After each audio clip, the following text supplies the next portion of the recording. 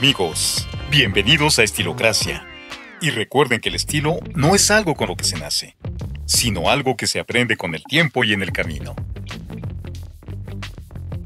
Querido estilócrata, hoy nos adentramos en el fascinante mundo del estoicismo, pero con un toque de sabiduría y vitalidad que lo hace único. Porque sí, amigos, el estoicismo no se trata solo de contener nuestras emociones, sino de comprenderlas y canalizarlas de manera consciente. Imagina esto. Somos seres humanos y como tal, estamos destinados a experimentar una montaña rusa de emociones. Pero, ¿qué pasa cuando esas emociones amenazan con desbordarnos y nublar nuestro juicio? Ahí es donde entra en juego el estoicismo. El dolor de una ruptura, por ejemplo, puede ser abrumador. Pero en lugar de dejarnos llevar por el caos de nuestras emociones, el estoicismo nos invita a reconocerlas, aceptarlas y trabajar en su gestión de manera consciente. Y aquí está la clave. El estoicismo no niega nuestras emociones, sino que las abraza y las analiza con la razón como guía. Como dijo Marco Aurelio, los que no han estudiado nunca los movimientos de su propio corazón tienen que ser desgraciados por fuerza. Así que ya lo saben amigos, que el estoicismo sea nuestra brújula en medio de la tormenta emocional. Vamos a abrazar nuestras emociones, comprenderlas y canalizarlas con sabiduría y fortaleza. Así que toma nota de la siguiente información. 1. Necesidad. Hoy vamos a hablar de un argumento tóxico que seguramente muchos hemos experimentado. La creencia de que necesitamos a alguien más para ser felices. Pero, estilócrata, es hora de desmantelar este mito y descubrir nuestra verdadera fuente de felicidad. Es fácil caer en la trampa de pensar que nuestra felicidad depende de factores externos, como una relación, el matrimonio o tener una familia. Pero aquí está el secreto. La virtud es lo único que realmente necesitamos para ser felices. Y lo mejor de todo es que está completamente bajo nuestro control. Los estoicos lo tienen claro. Llaman a estos factores indiferentes preferidos. Sí, está bien tener una relación o una familia, pero no debemos depender de ellas para encontrar nuestra felicidad. Porque al final del día, somos nosotros mismos quienes tenemos el poder de crear nuestra propia alegría y plenitud. Así que ya lo saben amigos, que la virtud y la autenticidad sean nuestra brújula en el viaje hacia la felicidad. Vamos a liberarnos de la dependencia emocional y descubrir la verdadera fuente de alegría que reside dentro de nosotros mismos. 2. Pertenencia.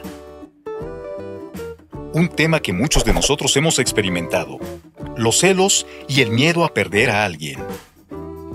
Las personas no son posesiones.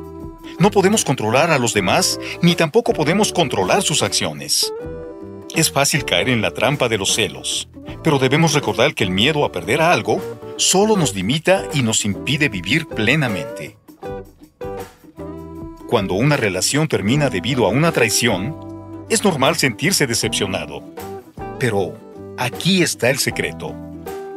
No podemos controlar las acciones de los demás, solo nuestras propias acciones.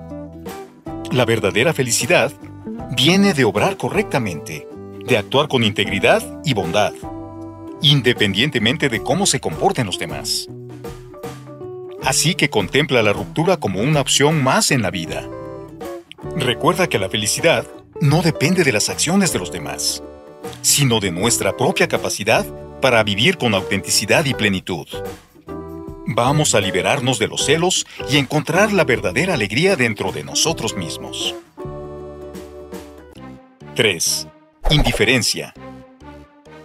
Los indiferentes preferidos son esas personas o cosas que pueden estar en nuestras vidas por un tiempo, pero que no tienen garantía de quedarse para siempre. Y eso está bien porque la vida es un flujo constante de cambios y nuevas experiencias. Así que aquí está el secreto. En lugar de aferrarnos a ellos con desesperación, debemos aprender a disfrutar de su presencia mientras dure y aceptar su partida cuando sea el momento adecuado. Porque cada encuentro, cada experiencia, es parte del hermoso viaje de la vida. Estilócrata, agradece cada momento, cada conexión y cada despedida, sabiendo que todo forma parte de la maravillosa danza de la existencia. 4. Superación. Una verdad universal. El tiempo es el mejor sanador de heridas. Es una frase que hemos escuchado una y otra vez, pero no por eso deja de ser cierta. Lo que ahora parece un mundo oscuro y desolador, eventualmente recuperará su verdadero tamaño. Cada herida, cada dolor, con el tiempo se desvanece y deja espacio para la sanación.